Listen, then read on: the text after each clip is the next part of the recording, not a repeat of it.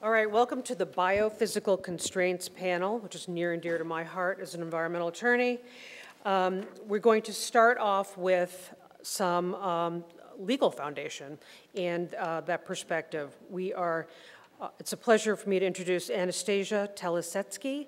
She's an associate professor at the University of Idaho College of Law. In 2004, she assisted the German government on its submissions for the voluntary guidelines on the progressive realization of the right to food. She is a member of the International Union for the Conservation of Nature and has written numerous articles on various aspects of food law, including marine fisheries, conservation, and management. In January 2015, she will begin an Ian Axford Fulbright Public Policy Fellowship in New Zealand. I wish I was going with her, focused on researching discard policies in the global fishery, fishing industry. Please welcome Professor Telesetsky.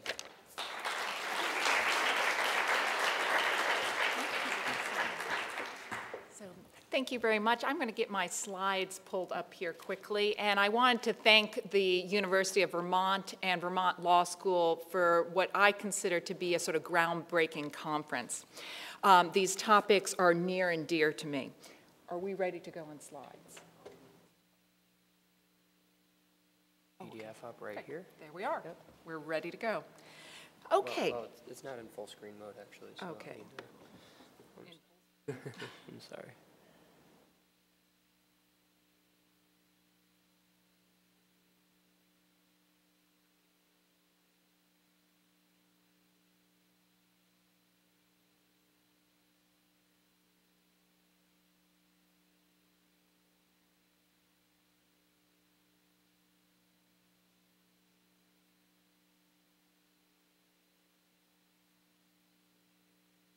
Okay, um, it- wasn't properly opened and then I closed it to open it again and.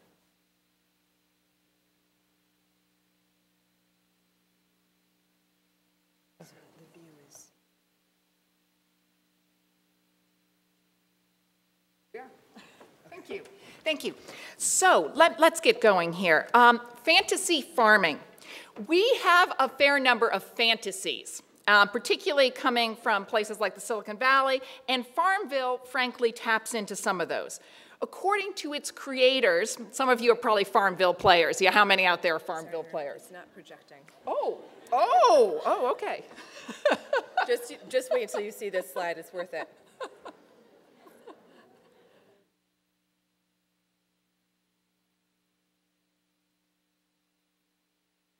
Wait. Wait for it. Okay, whoa. So, do we have some Farmville players out there? Oh, yes. Okay. So, its creators describe the computer game as everything grows your way.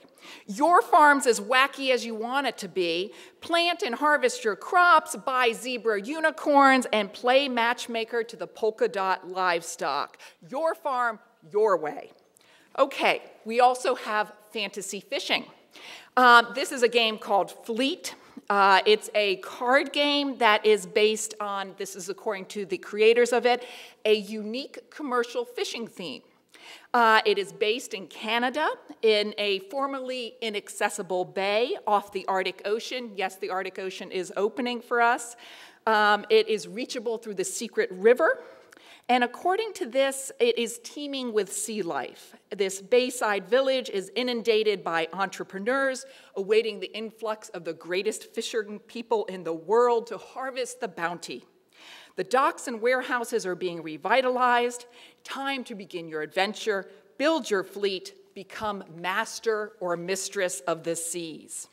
Well, the reality of much of our food production is a long way from Farmville or the fleet, or frankly, Vermont.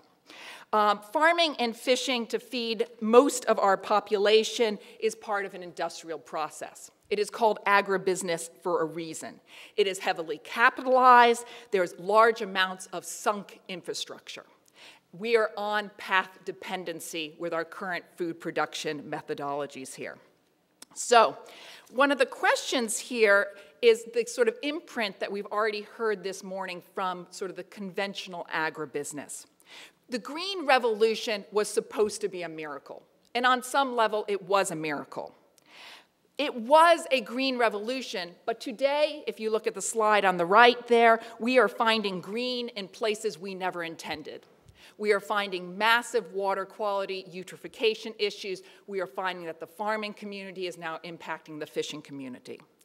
10-year um, study by the U.S. Geological Survey found that there are pesticides in the streams and groundwater of the U.S., often at concentrations that are deemed harmful to aquatic life and fish-eating wildlife. Today, we're seeing losses of 30 to 40 percent of our nitrogen fertilizer. So these are somewhat um, uh, daunting statistics. We've already heard about the greenhouse gas intensity if we continue with our green theme. But we also have a reality check, and we've heard this number bantered around multiple times today.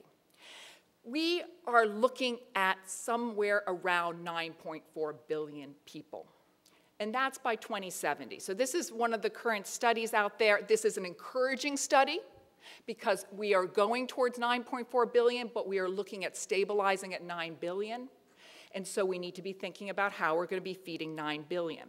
Now, one of the challenges, as we are all aware, is that with growing affluence in the world in places such as is China, we're seeing rising global consumption of certainly resource-intensive foods. So if we think about some countries such as Brazil, if you are a person of affluence in Brazil, you may choose to be eating large quantities of meat here. These are resource intensive. If you're a person in the United States, sushi may be on your menu.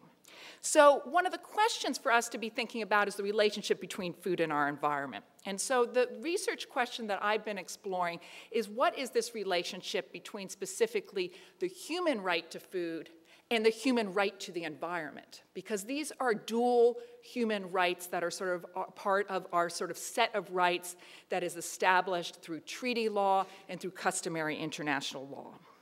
So one of the questions this raises for us is a quantity versus quality issue because one might satisfy the right to food through quantity, through the sort of mass commodities, through the soybeans, through the wheat. But we know that that raises issues, of course, with malnourishment here. Now, one of the challenges here is that if you're speaking to people who are working in conventional agribusiness, I'm coming from Idaho, many of my neighbors are working in that business here. I mean, it's a little bit ironic that that is um, big input is conventional, but um, the industry has captured the rhetoric here. Um, we, this is the, the comment I'll hear from my neighbors, we feed America, we feed the world. And so that whole quantity issue here versus whether we can still meet quality. Because what will be those long-term environmental costs? And one of the questions I'm going to come back to at the end of this presentation is, are we ready to invest?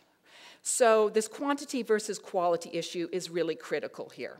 Is there a path for us to meet quantity needs with production methods that are concerned with environmental equality? And that's the presentation that we heard from uh, Dr. Kremen this morning on agroecology here. Now, this has been a conversation that lawyers have been late to. Uh, we know that there is an established right to food, um, as established as part of uh, sort of an adequate standard of living, um, embodied within the International Convention on Social, Cultural, and Economic Rights. We've had some commentary that has been made uh, by the UN Office on the High Commission for Human Rights. And I want to bring your attention to this because the very earliest definitions and the very earliest attempts to understand what right to food meant did not explicitly address issues of environmental sustainability. What they did is, is uh, refer to it implicitly. But I wanted to raise the issue here that this is not necessarily embracing environmental stewardship as a basic sort of uh, tenet of how to implement this right.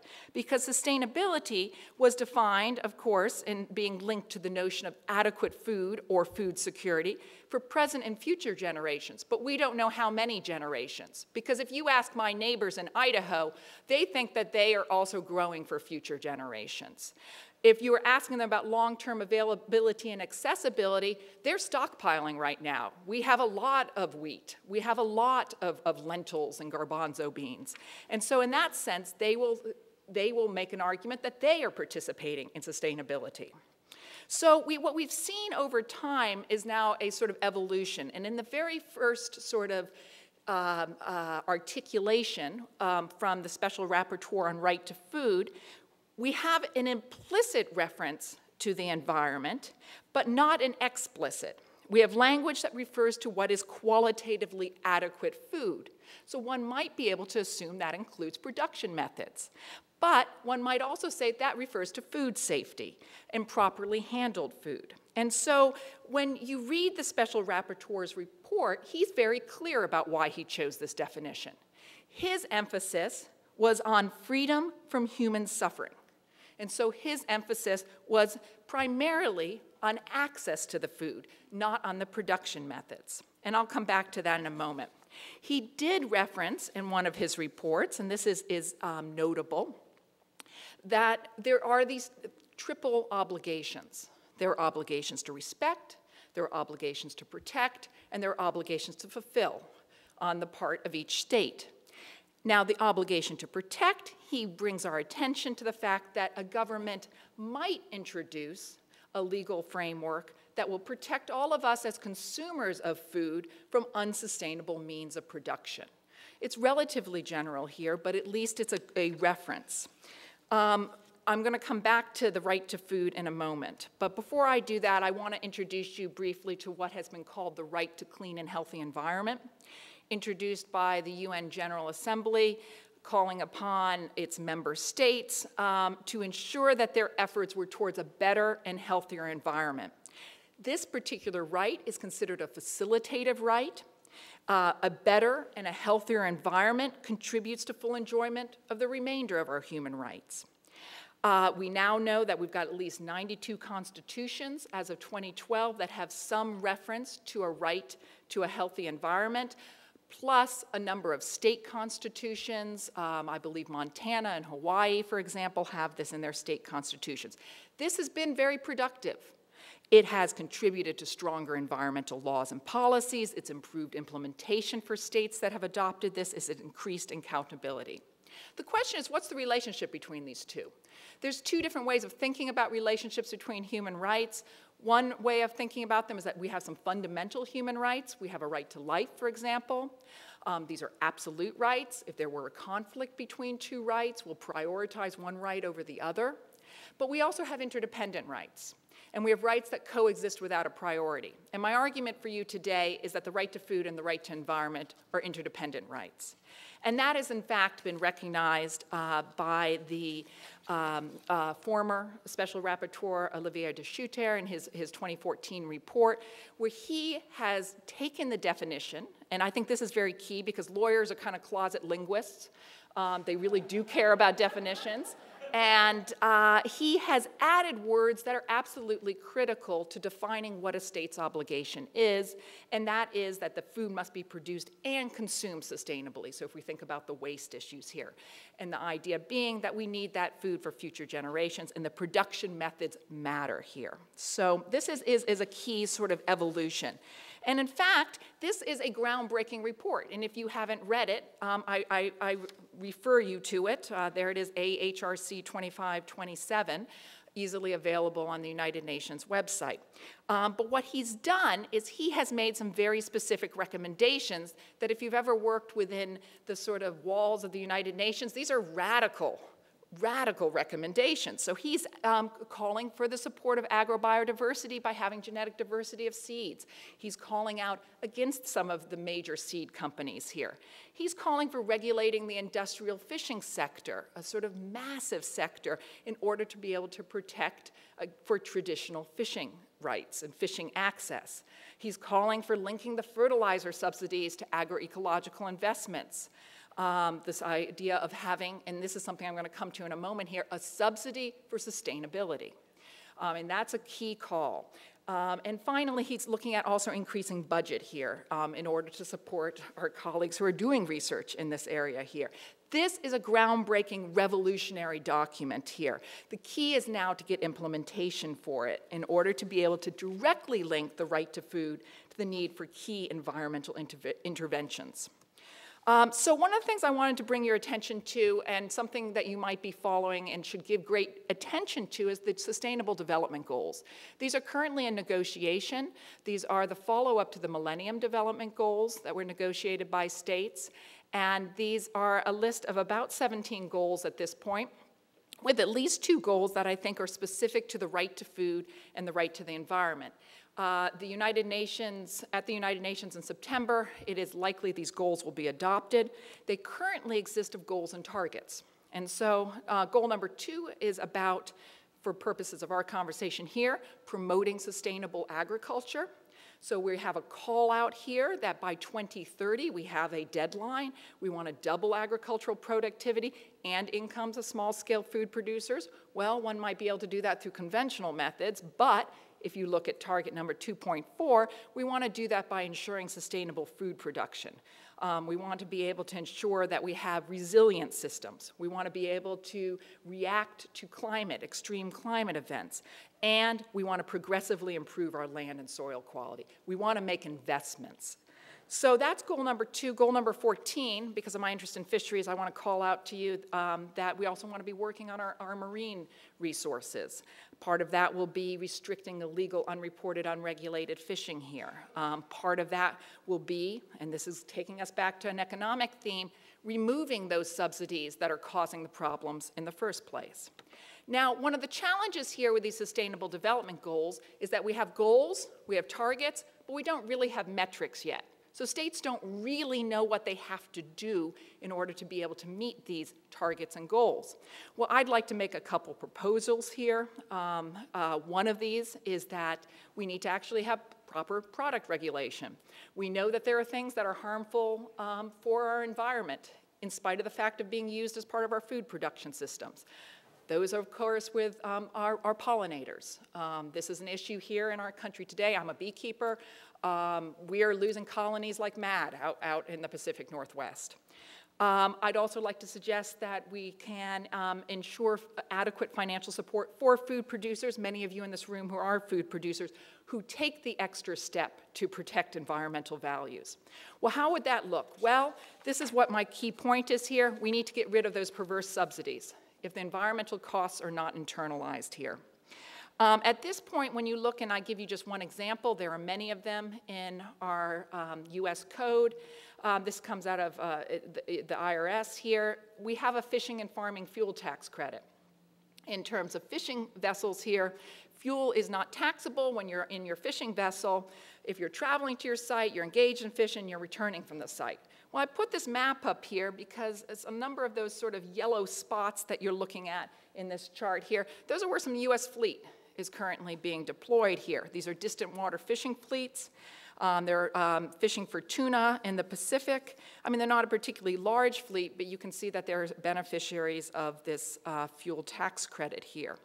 Um, this is also available when being used on farms. Now, these are some questions about longer term sustainability and whether we, as a public, want to continue to be supporting these sorts of practices. Now, one of the questions is, is, if we want to move beyond our current sort of inertia where we are somewhat beholden to agribusiness, and particularly large agribusiness, um, we need to have incenti incentives. We need to, to be able to make that sort of transition. And we see that we need to disrupt path dependency um, of the current agricultural, livestock, and fishery practices and the various unmitigated externalities that are associated.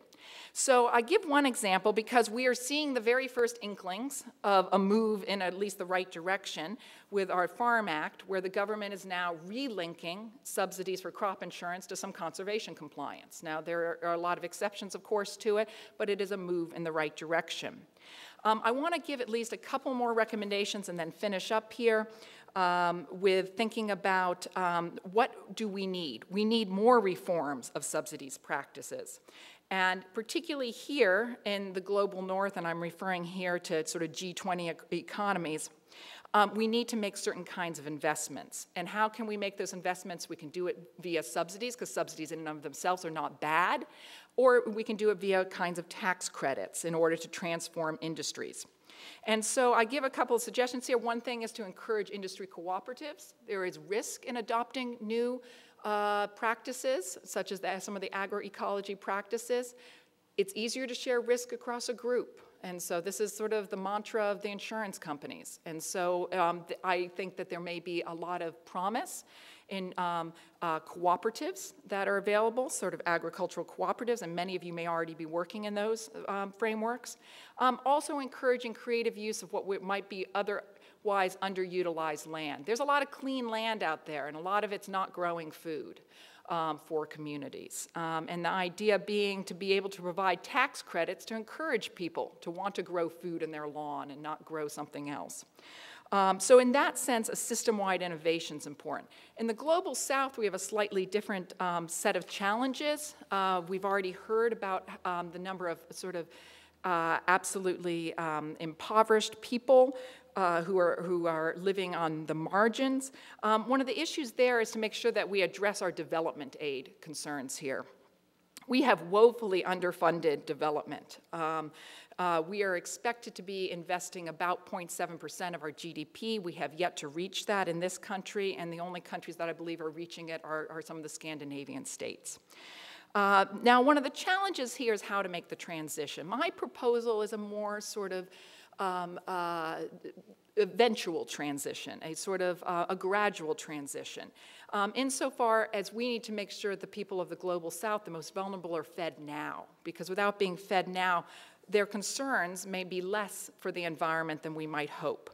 Um, and so I'm going to quote really quickly from someone who works in Tanzania, Don Lotter, um, who has made a comment. He himself has been working on organic farming in Africa for about 30 years. And he is saying that facing food insecurity in Africa, this is his piece, Why After 30 Years of Work in Organic Agriculture I Promote the Use of Synthetic Fertilizers in Small Scale Crop Production. He says, The only route I see out of African food security in the next decade is sustainable intensification. This will include both the use of agrochemicals and organic methods together. My change from working exclusively with organic methods in Africa is not a change in values. The well being of people and the environment are at the center of my ethos, but the long term care of the environment requires reducing suffering of human beings. So I think that's a key thing to keep in mind when we think about making some of these tra- transitions here, because access to food cannot simply be a dream deferred. So I, I finished then with this last slide. I started with this idea of fantasy farming, fantasy fishing. These visions are in our reach. Um, they require us to reimagine food producers and food, so we invest in people. And particularly, we invest in small producers who supply those farmers markets, the seafood cooperative here, that's an image out of Seattle, um, those people who support conservation practices. Uh, but we cannot ask these farmers and these fishing people simply to do the right thing and to invest their finances in environmental health. It is not exclusively their responsibility, it is a collective responsibility. We need to offer sufficient incentives if we care about the right to food and the right to the environment. Um, these are concepts that cut across bipartisan interests. We need to, at a minimum, and here are my proposals to you, call upon our representatives.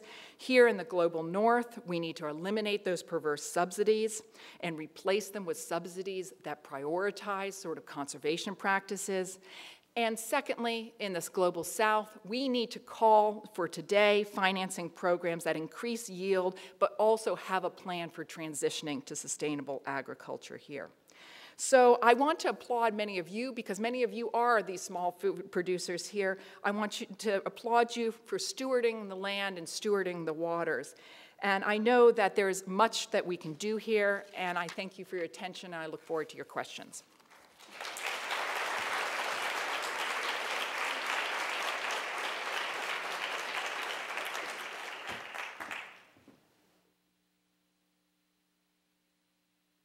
Take my script perchance?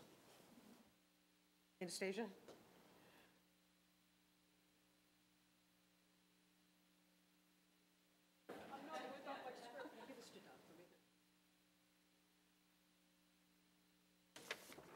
Some, no, yeah, Raphael. Just a few technical difficulties. Um, so it's my pleasure to introduce our next speaker. Rafael Vignola is the director of the Latin American Chair of Environmental Decisions focusing research, teaching, and extension efforts on the analysis of institutions and decision processes that can help individuals and organizations in Latin America make socially and technically robust choices regarding this, regard, excuse me, regarding the the sustainable management of agriculture and forest ecosystems in the goods and services they produce. For more than 10 years, he has implemented and coordinated development and research projects in Mesoamerican and South America in support of multi-stakeholder platforms, government agencies, and civil society organizations. He holds an MSc in environmental economics and a PhD in environmental science at the Swiss Federal Institute of Technology in Zurich. He is currently affiliated at the Institute for Environment Resources and Sustainability at the University of British Columbia, Canada. Please welcome Rafael Vignola.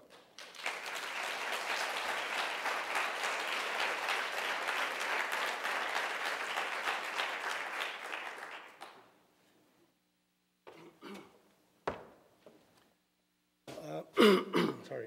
Thank you very much. Um, for inviting me to this uh, thrilling conference. Uh, and I'm also especially uh, grateful to uh, the speakers that were before me because they really opened the floor to my, to my talk. Um, so I will connect a lot to them.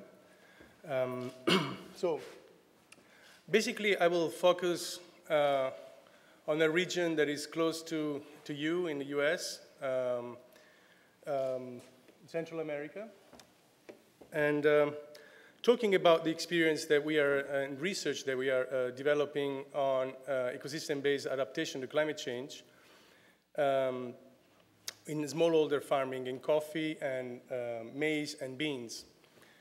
Uh, so the region, um, agriculture is very important uh, economically and socially. Um, a large part of rural population is employed in uh, agriculture and mainly in smallholder farming systems. And uh, production has been increasing uh, over the years, uh, starting with the Green Revolution. Uh, as far as I understand, uh, last conference, there was uh, Eric Holt Giménez who introduced on the issue of Green Revolution in Latin America. And so the region was really much um, into Green Revolution in terms of increasing yields, uh, establishing uh, strong links to the market, to the international market, so the free trade agreement, for example, with several, with Europe and uh, with the States. Um, and so with that, the promotion of uh, use of agrochemicals uh, in all type of uh, farming systems, so a lot of farming, farming smallholder farming system are using a lot of agrochemicals. Um, so um, the, the region is quite uh, vulnerable to uh, climate change. Uh, is, there are countries that uh, score uh, number one and two uh, in the global um, risk, disaster risk analysis. And um, the projection, so the, the observed incidence of extreme events is really high. As you can see for the figures, which I cannot read from the, the slides, which are really small here. I don't know whether they can be enlarged. Uh, otherwise, I, will have to turn to the, to the figures. But uh, as you can see, there's a, a, strong increase in the, in the number of uh, reported uh, disasters, and especially hydrometeorological disasters, which are affecting, of course, um, agriculture, which depends on, uh, on, on, the climate. Um, so you can see uh, that in the period of, in 100 years, there have been 311 hydrometeorological disasters. Uh, and the picture for the future is not getting better, um, since at least two uh, climate change models project um, diminution, diminution of um, precipitation and increase in temperature. But basically, for smallholder farmers, rather than climate projections, they're really uh, caring and dealing with uh, extreme weather events which affect their daily uh, and annual uh, production. Currently, there is a, a strong drought in, uh, in Central America. Uh, so the government of Costa Rica, for example, is spending 30 million US dollars to cope with drought in the, in the Pacific side of Costa Rica, so affecting livestock, smallholder livestock, and beans and maize producers and rice. so um, production, as many parts of the world, agricultural smallholder production is really linked to social and cultural identity. And same as in Central America, especially with uh, maize and, uh, and beans. And also um, more recently, in, in century-wise, uh, in rice and coffee.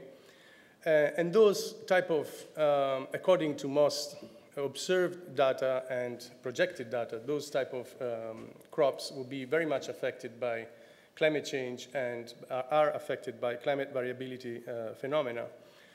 So in this, uh, this makes the point and uh, links me to the, to the right to sustainable production, how right to sustainable production is linked also to socio-ecological contexts.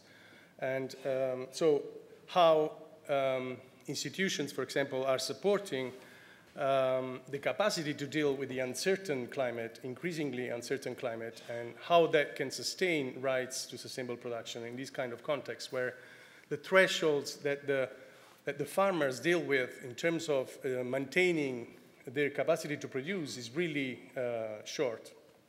And so the responses in this context go from uh, losing all production and basically um, migrate.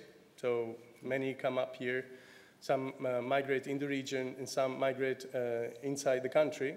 So to basically they abandon agriculture and move to uh, urban areas, uh, or um, increase government support and promote transformation as far as, as, that is possible.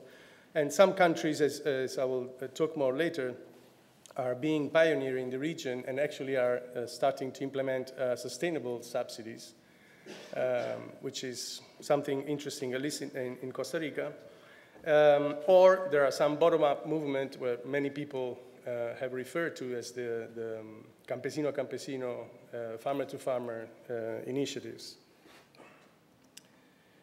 Um, so sustainable production um, is increasing where, of course, where uh, institutional support is stronger, it's increasing more. Um, mainly coffee, uh, cocoa, and bananas are um, dealing with certified organic uh, production, and some um, pineapple and uh, sugarcane and uh, sesame and cashew nut are also entering.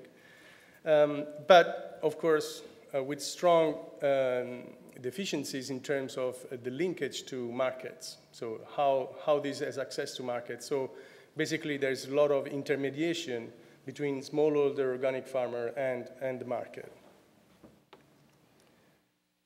So um, given this context, we started working on a concept um, of ecosystem-based adaptation, which is uh, increasingly being adopted in many international initiatives. Uh, but uh, so the IUCN, uh, the World Bank, um, the UNEP, the, so the United Nations Environment Program, are increasingly adopting this, this uh, framework. But uh, we noticed that uh, in most definitions and, and, in many projects, it's being used in terms of restoring and conserving natural habitats. But so the link to uh, agriculture, and especially smallholder agriculture, is really weak. And so we devoted um, the efforts of these years to uh, build more evidence and um, useful evidence. So we are linking to extension agencies and Ministry of Agriculture and grassroots organizations uh, to accompany them in getting to know these evidences and use them in, in, a, in extension work with farmers. Um, so along this working definition, we identify that for a smallholder farmer, ecosystem-based uh, practices, adaptation practices, have to deal with three dimensions. So one is that, uh, so this is a very conceptual um, um, scheme. So one is that they are based on ecosystems, so they, they conserve and, uh, and use uh, biodiversity and uh, the, the um, uh, goods and services that this can provide, and for example, pollination, uh, push and pull type of um, uh, initiative, like in Africa. But they also, at the same time, so they they have to provide adaptation benefits, must, we must have evidence that they, they are, uh, these practices are successful in reducing their, the impacts of extreme events on their uh, capacity to produce and to maintain their livelihood. Uh, and then, uh, so the livelihood security. So that means that also uh, the adoption of these practices doesn't lower their capacity to maintain their livelihood. So, um, of course, there are some practices that what we have done is uh, a large literature review and expert uh, uh, elicitation in, in, um, in, tropical America to see what we know about these practices in these, in these crops, so in coffee, maize, and beans. Um, and so we did a systematic review. We reviewed uh, 326 documents regarding coffee, corn, beans, um, and we also elicited the opinion of um, using a mental model approach of 75 experts uh, at national level and in, uh, in six landscapes in Guatemala, distributed between uh, Guatemala, Honduras, and Costa Rica, on, um, so on the, on the benefits, looking at the benefits and the evidence on the benefits and the barriers uh, to adoption of these practices. And so we used this conceptual scheme to uh, basically looking at the plot level and some interaction with the landscape, which I'm not going to, to, uh, to uh, go into. But um, so this, the conceptual scheme guided our, the building of our instruments in this, um, okay, I will run. Um, uh, uh, the design of our instruments in this literature review and in the expert consultation. So we identified some uh, qualitative meta-analysis uh, results that compare conventional and EBA uh, type of practices, for example, uh, shade grown. I don't want to enter into the details of the tables that you can, you can read, but what is important here is that some practices, for example, what we notice is that the push and pull um, is an interesting practice, but at the same time is, is highly knowledge intensive, as many um, agroecology practices. And so that requires the support of institutions. And uh, it, it, will be impossible for, for a farmer to adopt that practice. It's not a traditional, uh, traditional knowledge-based uh, practice. Um, so yeah, here we have some, uh, some results of the literature review, um, which is in preparation. So we have many, um, many of the literature that also um, uh, Claire was uh, mentioning, for example, Philpott. Um, we, Eric Holt Giménez, the, the work he did, uh, etc. Uh, so on the evidence of these practices to maintain, for example, humidity during droughts uh, or um, keep soil during or after an hurricane, so keep the, the fertile soil um, there on the field or reduce the impact of uh, higher temperature. So the, the, what I want to highlight from this figure is that basically from the expert uh, elicitation work, we identified, uh, of course, one, to their view, one of the, the main barriers in adoption is the, the lack of resources in uh, su supporting uh, the um, implementation of practices and their ma maintenance. Um, but also the lack of um, technical assistance, which is, that's very common all over the countries we've been working in. Um, so that's a huge barriers. So what we did is really uh, using social network analysis to analyze um, how, how the organizations from the producers to the national level and so the research organization to the extension agents and also to the financial um, companies that were accompanying uh, subsidizing uh, inputs uh, buying, etc., how they were connected. And so we, we use this graph um, and, and, an algorithm that is called the betweenness centrality, which measure the, the bridging capacity of organizations. So how many other pairs of actors in this network depend on, on this organization to access information and interchange information. So what we found is that um, also from other study on soil conservation using the same technique, is that extension agents are really uh, key and um, for the bias we had here is that we analyzed basically organized producers and um, official agencies, is that um, private agrochemical companies uh, were out of the network. So basically, producers that were um, not connected in an association or an organization, the only uh, technical assistance they had was through agrochemical companies uh, doing extension work.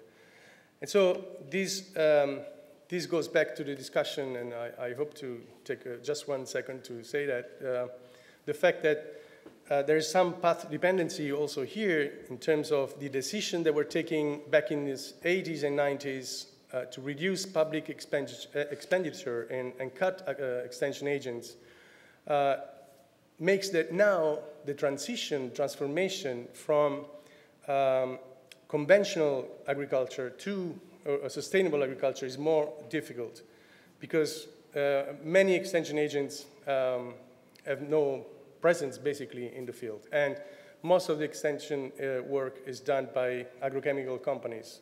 And that's all over uh, Latin America. Uh, I would say that uh, it's interesting, Costa Rica is a, a famous uh, green, uh, is renowned for ecotourism and biodiversity worldwide, and many people from the US go there for tourism to see birds, etc. But even though it's been a pioneer in all these type of um, issues on biodiversity conservation, uh, it's also number one in the world in terms of the average of agrochemical use per um, unit of cultivated area. So it's above China. And so that means that there is an inertia, a strong inertia in the system that even though now we have, a, as you can read here, we have a very interesting context where the, the government is supporting um, with sustainability subsidies, for example, for participatory certification of uh, organic production. So it's a peer-based um, uh, certification. So basically, the cost of certification uh, is really lower. Um, the government is supporting the, the, sustainable gastronomy initiative, so connecting something that you have here also in uh, Burlington, so they're connecting the farmer to a network of restaurants. Uh, but still, it's recently, like a few weeks ago, it's number one in the, in the world on uh, agrochemical use per uh, cultivated area. So for transformation, we need institutions, and without institutions or without changing the extension services and the way that work and support farmers' adoption of practices and their maintenance, that's really hard. So that's it.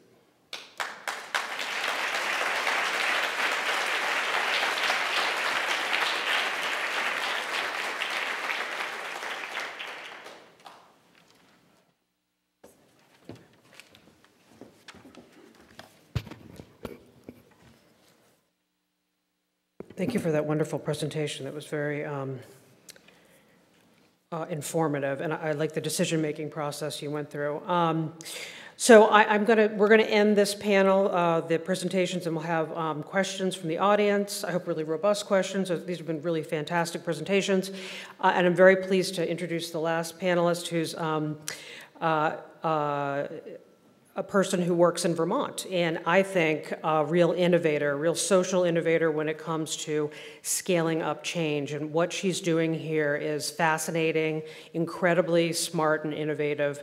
Um, so it's my pleasure to be introducing her today. Ellen Kahler is the executive director of the Vermont Sustainable Jobs Fund, which serves as Vermont Farm to Plate Network Coordinator.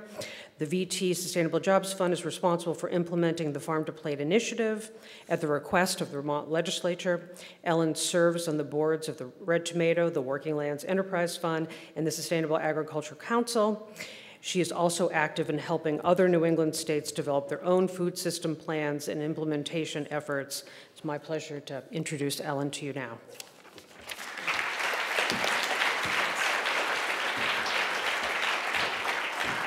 Hi there. Um, so I so appreciate what Raffaele said about the need for more extension agents. I can absolutely think off the top of my head, Doug, that I would love for you to get at least 20 more staff positions working out in the field because uh, under Doug's leadership, uh, in my tenure doing this work, I've really seen a pretty significant transformation in the investments that have been made uh, to get out in the field more and really work side by side with our producers. And um, so I want to applaud you for that because it's really needed and it's, it, the change has been visible and I hear it from a lot of people. So thank you for all you've done and let's get more UVM extension and other technical assistance providers for the whole region. It's really, really key. So thank you.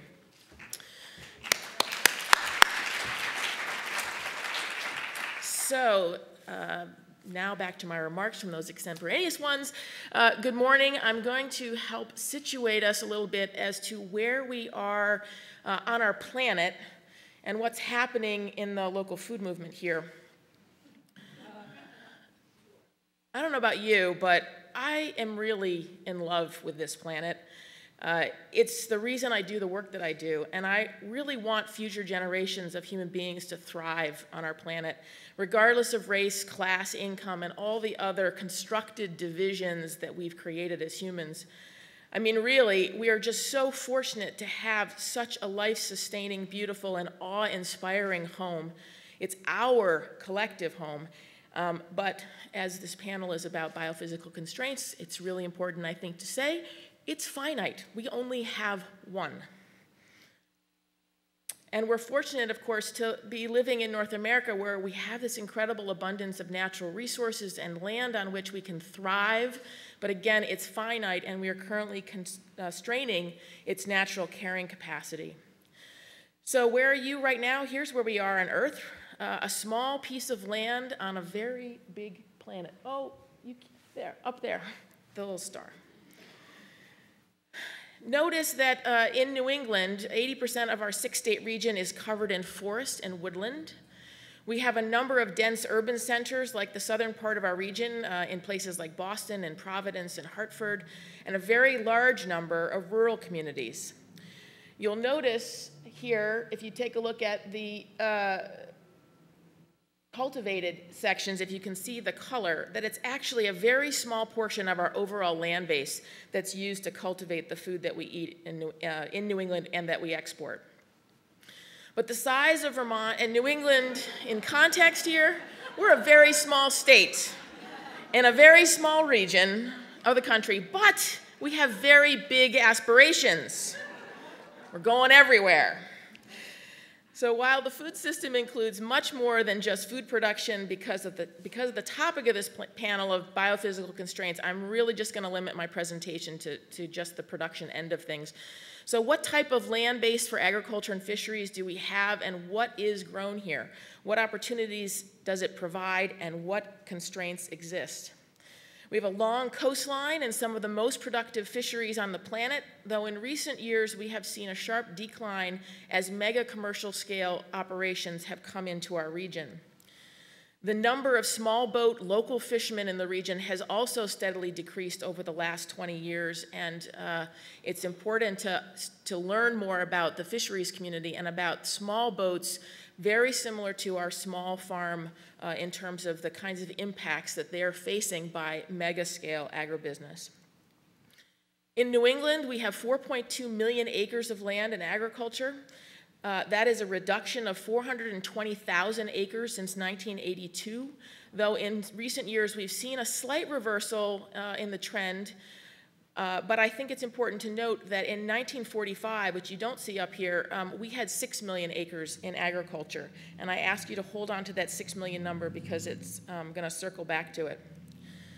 So here in Vermont, we've seen a 20% decline in farmland, uh, more than any other New England state. Agricultural, and it's important to recognize that as the US uh, Census of Agriculture counts agricultural land, that includes the infrastructure, so your farm barns, uh, the houses, any uh, worker housing. It includes the pasture land, includes cropland, and it also includes woodland. And you can see on this uh, slide here that the woodlands that are part of Vermont farms are actually a very large portion of what's counted as agricultural land.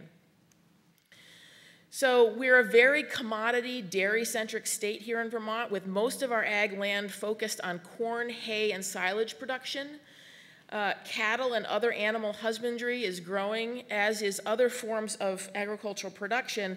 And I'll point to here um, this all others. So you'll notice that there's been a decline in the amount of overall acreage uh, increase in the amount of acreage going to hay, corn, and other, which is where that uh, corn for dairy is, is primarily here. And then you'll see we've had a slight uptick happening in cattle production and other animals. And then these uh, down here on the bottom are everything else that we produce is in this all other category. And this is from the 2012 census. So I, just to give you a sense of what's actually going on in this all others portion, um, it looks like this. So You get a very different sense of what actually is happening and where a lot of the excitement in this state and also in this region um, we have uh, all different types of production.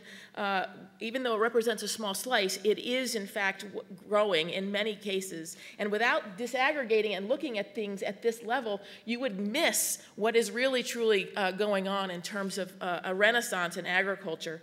And even though I'm showing Vermont data right here, it is absolutely the case that similar kinds of trends are happening in the other New England states. So we've lost uh, close to 200,000 farms in New England um, since 1910, uh, but it wasn't really until after World War II that a substantial decline uh, began. And again, in recent years, we've seen we have seen a slight uptick in the numbers of farms in the region uh, here. And interestingly, uh, a lot of them, uh, increasing number of female-owned farms uh, and a lot of folks entering farming for the first time, not growing up in farm families. So while we saw this steep decline here after World War II, as everybody started moving to the cities and getting into uh, more manufacturing and other types of modes of production, we are seeing a slight uptick here. I will note here that this Vermont number is a little deceiving in that um, this is the total numbers of farms. The definition of farms by the U.S. Census of Agriculture is $1,000 worth of sales. So we actually have about 4,000 farms that make more than $10,000 a year. So that number is um, actually really, truly much lower. There's a significant uh, constraint to bringing about more farmland under production is the cost of land. Real estate values for land vary greatly across New England, and we've, uh, we'll need to figure this out if we want the next generation of farmers to actually be able to get on the land. Uh, UVM has been part of a new farmer uh, program to really help in LandLink and trying to help young farmers find available land. We need in, in, uh, more investment in those kinds of programs. So what do we actually produce in New England? To put things in context, the value of ag sales in New England is around $2.8 billion, but that's just 0.72% of the value of all ag sales in the US. And in Vermont, which produces the highest value of the seven of the six states, about 75% is in dairy and other forms of animal production. So just to put it all in context. Mostly we produce milk uh, from cows in Vermont, nursery and greenhouse products uh, in Connecticut, and potatoes in Maine. So these three bars represent the vast majority of the production but is really concentrated in these three things in th across three states, and everything else uh, here is in very small percentages and very small dollar amounts. Another constraint that exists relates to the significant asymmetry in production and processing. We need to rebuild the middle scale agriculture and processing if we're going to increase regional production and, and capture economies of scale and keep food prices affordable. We can see here that we have a large number of small farms. The vast majority make less than $350,000 a year in gross sales, and most have some amount of off farm income in order just to survive. And while we have a small, and then we also have a small number of very large farms, and large is in no way anywhere close to, say, California size farms. So our large farms are still small by comparison, but they represent uh, the majority of ag sales. And again, that's mostly in dairy. So the same holds true for food manufacturing, where a small number of relatively large firms generate most of the gross sales, Though we have a growing number of very diverse products from maple syrup and bread and cheese, beer, wine, spirits, meat, and other specialty foods, many of which are, are uh, winning awards nationally and internationally. But when we get too big and too concentrated in any one commodity, such as continuous corn for dairy cow feed, uh, with decades of not doing appropriate cover cropping and focusing on building healthy soils, we uh, risk getting things out of balance within our ecosystem. So we've gotten out of balance. We've also gotten out of balance with who has enough to eat. Uh, when wealth becomes so concentrated and wages stagnate, we do not uh, address the underlying causes of generational poverty, then we create increases in food ins insecurity in our communities. These charts go back in, uh, in time to 1999 in three year increments, uh, and you can really see the big jump in food insecurity as a result of the Great Recession. In 2015, it is simply unacceptable that so many of our neighbors must rely on supplemental food assistance programs in order to feed their families, a cost that's borne by all of us through our tax dollars and which limits recipients' sense of human dignity and self worth. And not to mention the health impacts that have arisen by highly processed, subsidized, unhealthy food. This is a chart from the, sense, from the um, Consumer Expenditure uh, uh, Survey that shows by race uh, where, uh, what's going on in terms of um, uh, healthy weights and obesity and um, oh, healthy weights, uh, obese and, um, and overweight uh, by race. So you can see here uh, that things are going in the wrong direction. Here in New England, a number of organizations have dared to create a 50 year vision to grow, catch, or raise 50% of the food we eat from within the region by 2060.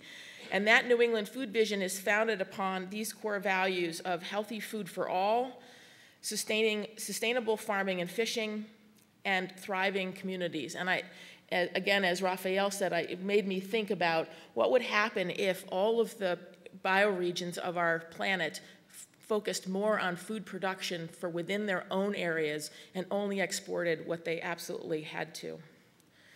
So we come up, we researchers uh, who put this vision together crunched the numbers uh, for three possible future scenarios from status quo production, the omnivore's delight, and regional reliance. And in the case of the omnivore's delight, researchers worked off the following assumptions that sl the slow population would, uh, our population would, would slow growth to 17 million. We're now at 14 million with a strong commitment to clustered green development.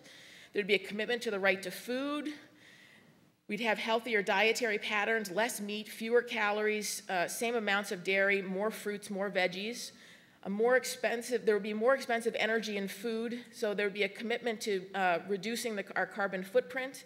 There'd be strong regional commitment to environmental protections, sustainable farming that minimizes environmental impacts, uh, expanding farmland three times to 15% of New England. So this is that 6 million acres. We want to get back to 6 million acres in production and we would be increasing our fisheries production, uh, helping it to recover and uh, to um, use sustainable methods. So these were the assumptions that actually went into number crunching in order to be able to figure out could we actually get to 50% and what would that look like? So I'm not going to go into these numbers here, but uh, I'm happy to talk about more of the process um, during the Q&A if anyone's interested. So what the researchers found was that, that if we got to 6 million acres under production, we could do the following. We could grow all of our vegetables on 500,000 acres, half of our fruit, again on 500,000 acres, all of the dairy, beef, lamb, uh, and mostly of that uh, grown on grass for 4.5 million acres, 3 million of which is on pasture. We could have all of our pastured pork, poultry, and eggs, but mostly on imported feed grain and that we'd leave about 500,000 acres for some portion of our grain, beans, and vegetable oil. And we'd also uh, need a strong sustainable yield from our fisheries. So we actually crunched the numbers to see that it could be possible, but that's only 50% of what we consume. And so we would need to uh, import 5.3 million acres worth of uh, half of our fruit, uh, more, uh, all the grain production, most of the grain production and vegetable oils, because it's just not uh, practical to do it here. And then, of course, peanuts, coffee, tea, chocolate, and sugar, because uh, we don't want to give up our coffee and our, our um, chocolate, um, though we probably should reduce that consumption. so, uh, in summary, here with the biophysical constraints, um, Uh, there's, there's biophysical opportunities uh, in New England that provide uh, an understanding of what types of food can be produced, raised, and caught in the region, the physical and ecological assets of our regional land base and soils, various uh, demographics of the region, and what is known of our physical infrastructure as we seek to become more food secure and fair as a region. So in summary, in 1945, New England had the opportunity, had approximately 600, 6 million acres under production, so we can do it. Food manufacturing has increased. We're, we have opportunities to prepare more um, prepared meals uh, with regional ingredients because that's in demand. We have a regional, uh, a regional food system that increases our food security as drought, climate change, and other environmental and human conditions change, uh, especially in other parts of the US, Mexico, and China. And uh, if we include New York, New Jersey, and Pennsylvania in the production mix, the Northeast has an even greater potential to increase its regional food production. Uh, on the constraint side, we need to really manage and mitigate those constraints uh, so that fewer people are involved in production ag uh, than were in 1945 and a lot more farmers uh, are going to be needed to produce that food. So we need to increase, um, uh, if we're going to increase our production from two to six million acres, we're going to need more farmers. Uh, we are going to need for, to reduce our forest cover by about 10%. Um, and that's going to require a lot of compromise with competing land uses. Uh, the regional fisheries are going to need to be revitalized. what is harvested from the sea uh, is going to more percent, greater percentage of that is going to need to stay within the region. And a lot of our prime ag soils have been covered over and turned into housing developments. Uh, and land values uh, really do vary a lot by region. So if we're going to get increased production, we need to get more people on more land uh, actually using that prime ag soil. And finally, climate change um, projections for New, for New England call for 20% more water and increased risk of flood, uh, flooding. So we're really going to need to um, focus on soil and rebuilding the organic matter in our soils in order to be able to uh, withstand that water pressure. Uh, and we all need to learn how to be soil farmers. So now I'm going to leave you with some images of what we look like here in New England. Uh, there are so many amazing things happening throughout the region uh, related to relocalizing our food system that there's just no way to fully capture the breadth and depth of activity in just these few slides, but they'll give you a flavor of what's going on in our region. And please keep in mind where I began with all of my remarks, that we live on a small piece of land on a very big planet.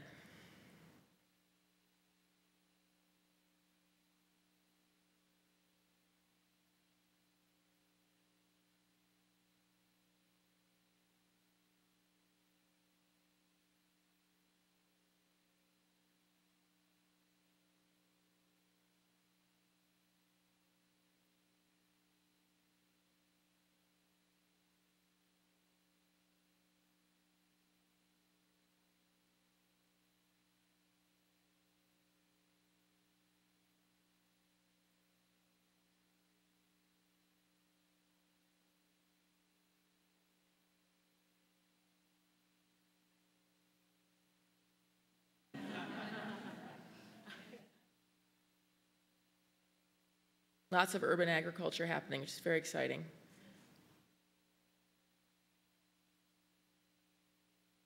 We really need to get into our supermarkets more with local food.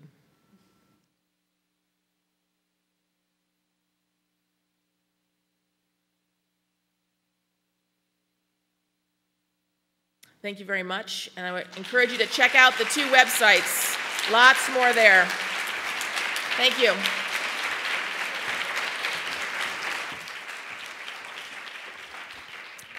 Thanks to all our panelists. Um, if you could take five minutes and develop some questions with your table mates, and we will collect them and then have our uh, panelists come up and uh, ask them a few questions. Thank you. So the first two questions are for you, Raffaele. How has the fair trade movement influenced sustainable agriculture practices in Costa Rica?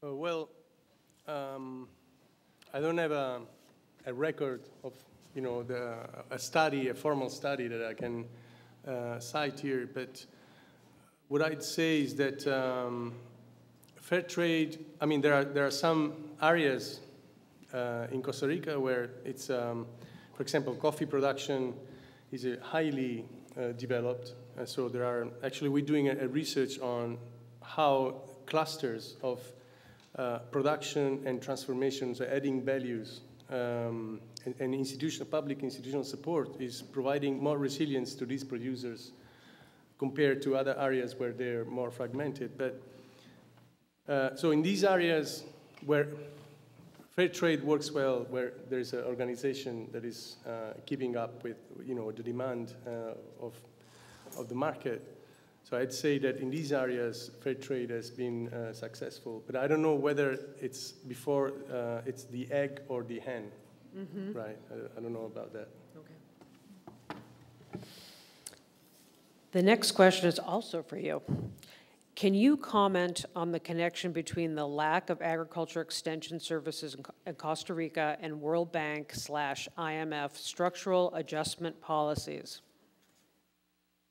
Yes, uh, uh, well, I was referring exactly to that. That's the famous uh, Washington Consensus, so the Bretton Woods institutions, which are World Bank and IMF, uh, back in the 80s and 90s have been promoting uh, structural adjustment programs all over the developing world.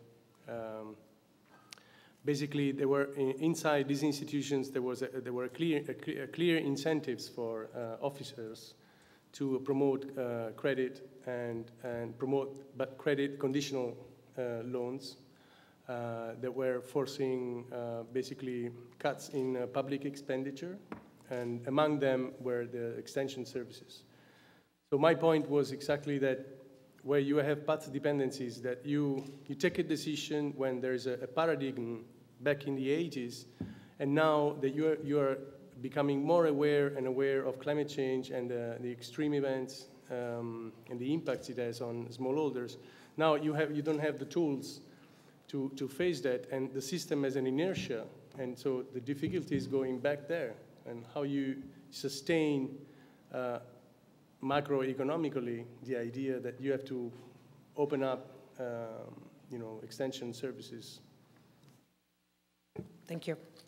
The next question is for Ellen. What coordination needs to happen or is already happening amongst the six New England states in order to achieve production on 6 million acres? Is everyone on the same page? Good question. Not yet. Uh, We have uh, an organization called Food Solutions New England. There are a number of other regional organizations as well. And uh, Food Solutions New England, actually last week, we had the fifth New England Food Summit. And the focus and theme of last week's conference was on uh, the right uh, to food, but, and also fair price.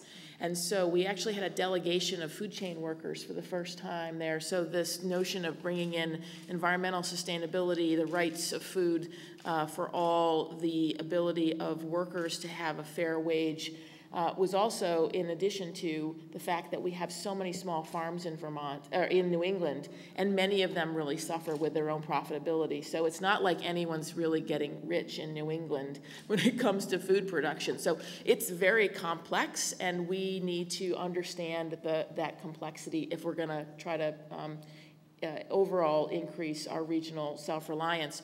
I will say though, um, so we have this vision, which is a very aspirational document, and it's on the Food Solutions New England website, along with the X, X, Excel spreadsheets that I was uh, that that get into the the number crunching uh, on what we could produce uh, in New England.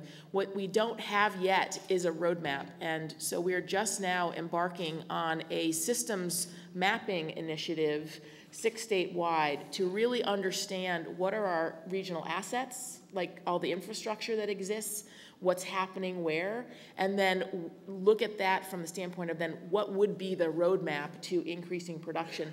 How might that change our regulatory framework?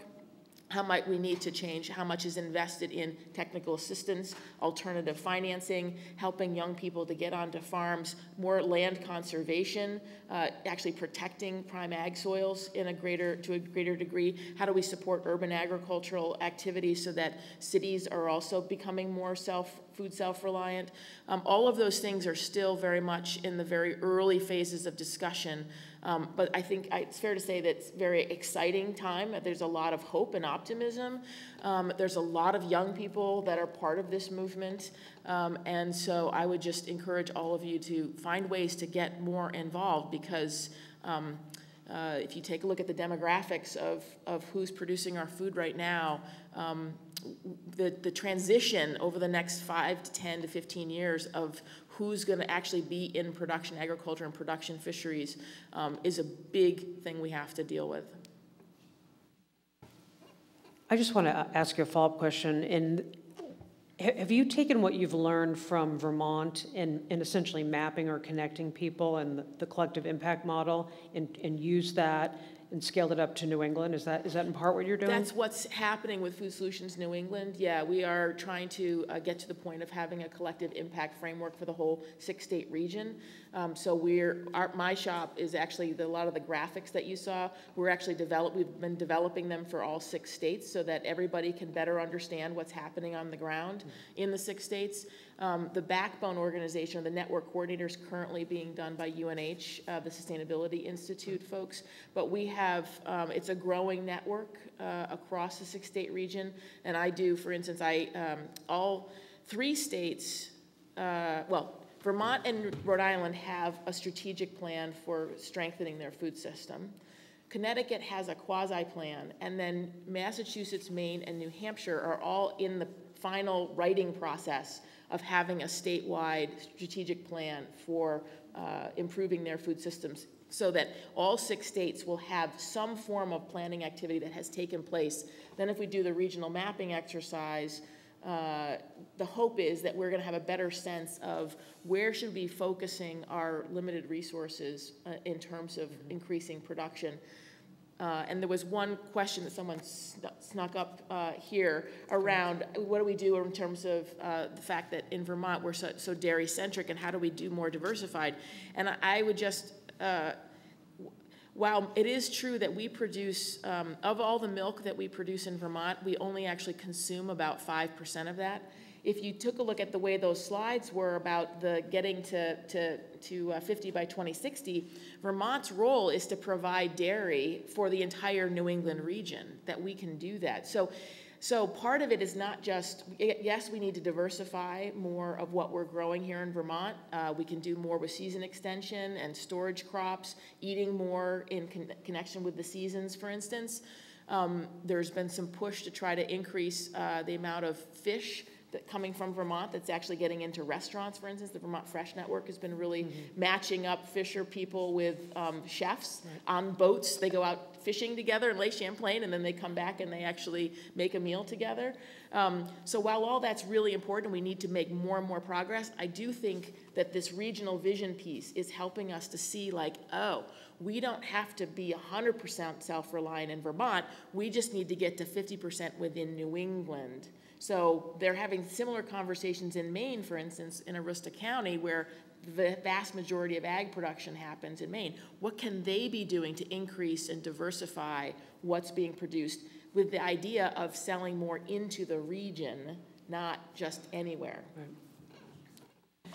I think that's also an important model that might be replicable other places as a yes. way to scale up change, which, which, is why I think it's such a fantastic thing. Um, this is for Anastasia. It's your turn.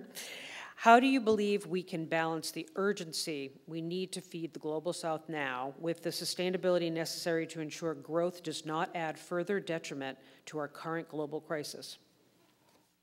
That's a, that's a great question. And, and part of what I see with this sort of, it's in terms of a transition, is the financial commitment. I mean, that is what we're sort of hearing, at least from certain parts of sub-Saharan Africa, is that they don't have the, both the technical assistance and the financial assistance.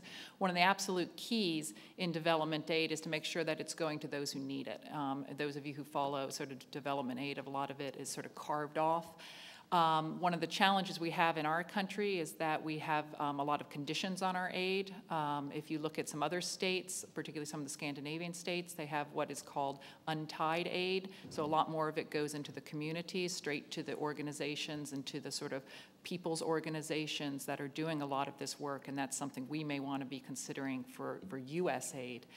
Um, The challenge, I think, though, in terms of thinking about where that transition is, is having, working with, with production groups um, for them to make a commitment. Because right now, they need a certain amount of calories, and, and some of them are now receiving them from the World Food Program um, as sort of ongoing chronic emergency relief um, in different parts of, of the, the globe. And so that transition may be to sort of help to sort of set the course, providing some of what we already know is, is known technology, with a commitment from those communities that they will, you know, if you think about pain relievers, you know, the, the doctor gives you a prescription for a little bit of time, but you're not allowed to be on it permanently, um, or you shouldn't be. Um, and working then towards the agroecology and the investments that are needed, the long-term investments. Raffaele, how do you support slash transform agriculture to shift towards a polycropping, more sustainable system if the push and pull method requires so much knowledge? Educational classes, farm school? Well, yeah, I think it's um, depending on the context. Um, so, if it's urgent and you have to look at what, what are the easiest and cheapest entry points to do that, uh, if you have already an infrastructure of extension agents, then you can work through them. If you have grassroots movements, then you have to work through grassroots movement or a combination of that. So it depends really very much on the context, I would say. Anastasia, what are good examples, ideas, or ideas of how to internalize environmental costs specifically to food and maintain the quality of food security?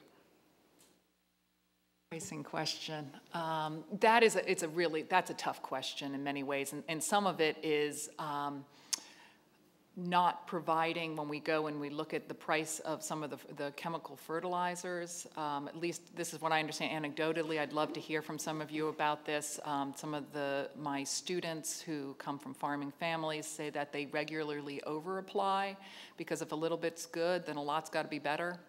Um, And so some of that is sort of pricing products, you know, that we know have additional environmental impacts, um, so that they are used more judiciously, um, not, not necessarily eliminating markets. Um, A, a great question, I'd love to talk to whoever asked that question afterwards. Raffaele, how would the TPP affect hunger and the environment and right to food in the global south? Do we even know? Just a little question for you. Well, I, yeah, I'm not an expert on, uh, on that treat, treaty, um, but what I know is that uh, the evidence from research that um, uh, relatively recent uh, research on, on the effect of uh, the free trade agreement between Mexico and U.S. on corn producers uh, smallholder corn producers is that it has been increasing their vulnerability to extreme events. So their coping capacity in the face of extreme events has been really uh, affected. So I would imagine that that's uh, possible also with this treaty. Thank you. Anastasia, what would the metric system look like to measure the protection of safety of the environment? Well, it will depend state by state, but what I think it would look like is beginning to set proper risk assessments. I mean, I think that's one of the things that is currently missing um, from the sort of chemi- the chemical industry. Um, has some of this material they still have internally, some of it they have to release, at least here in the U.S. from the uh, Toxic Substance Control Act. But what the biggest challenge is, in many respects, is the sort of synergistic effects of chemicals. We know that chemical A does this, but we really don't know what chemical A plus B plus C do um, in combination. And so that's something where there needs to be a, a lot more public risk assessments that are done, um, and need, they need to be publicly available um, and part of our sort of larger conversation.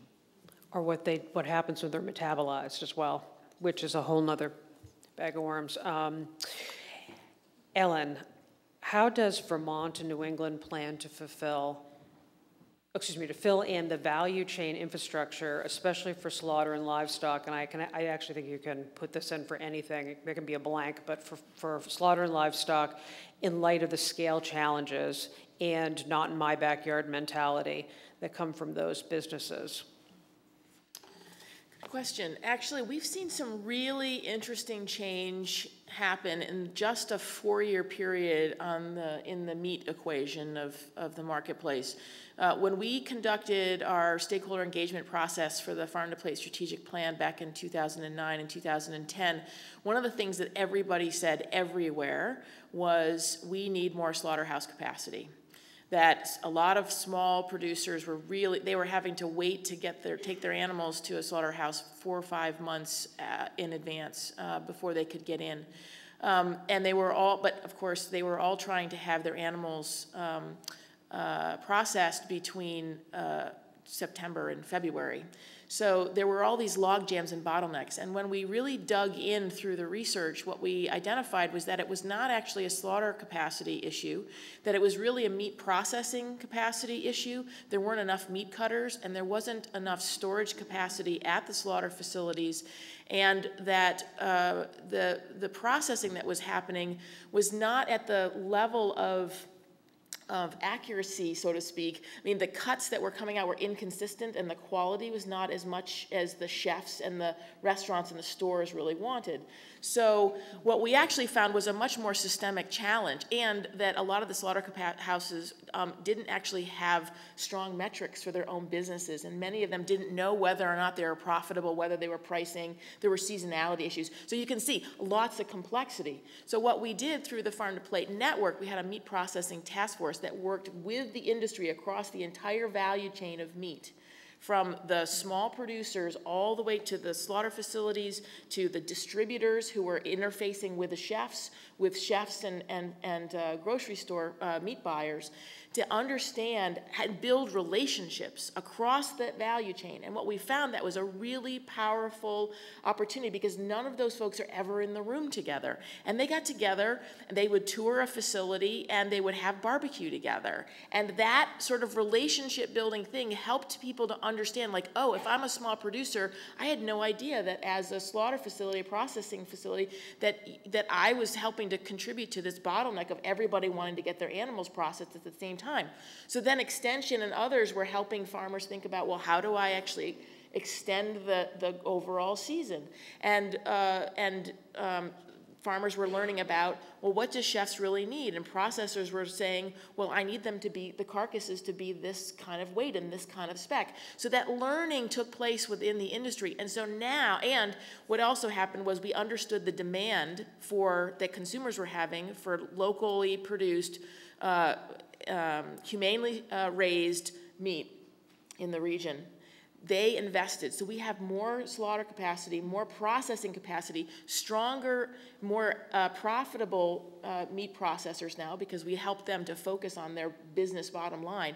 So now what we've seen is we've gone from not having enough, uh, um, uh, too much, uh, I'm sorry, I want to get my, my numbers here right. We, we had not enough slaughter, we had the, not enough processing capacity, so we had too many animals for the amount of processing. And now we've actually flipped things. So now we have more processing capacity and not enough animals.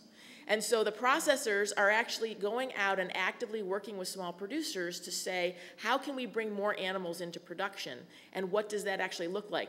And I think that this is a key component for anybody that's involved in sort of food advocacy or uh, overall food system development is part of our role as nonprofits and civic leaders and, and, and government folks is to help share knowledge about what's happening in the marketplace because it's a very dynamic thing and within the matter of 3 or 4 years you can literally have a shift in where how much supply versus how much demand and when you're a producer you're so focused on just producing that you sometimes can miss those market signals. So one of our jobs is to help people understand what's going on in the marketplace so that they can adjust their production uh, to meet that, that changing market demand.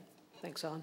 So I was told that we're at time, but I'm going to be non-compliant because there's which I think I have a right to do, uh, because we got one question. I think it's really important. The food movement's been criticized because um, it has not always taken labor, uh, uh, and immigrant labor in particular, into account um, in the movement, and, I- and, I, and also actually restaurant workers, um, people who touch our food and produce our food. And I think that is a critical uh, human rights issue that we have to grapple with.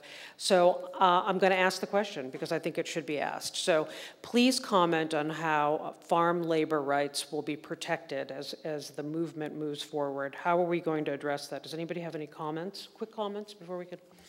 Well, here in, in Vermont and New England, um, I think the key here is that we need to be hit, we need to be addressing it on all fronts. We need, actually need to understand the regs that are on the books in terms of housing for farm workers, for instance. We also need farmers to step up and to uh, be putting pressure on each other for those that have bad practices. There's been some work that Migrant Justice has done to survey what does, what's going on with housing on far, on dairy farms.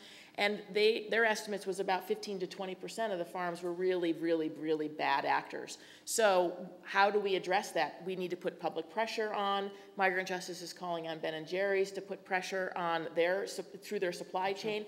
But we also really need to have farmers talking to other farmers to say, this is not okay, because it actually impacts the entire industry. So that's just one example. Thank you. Thanks to our wonderful panelists.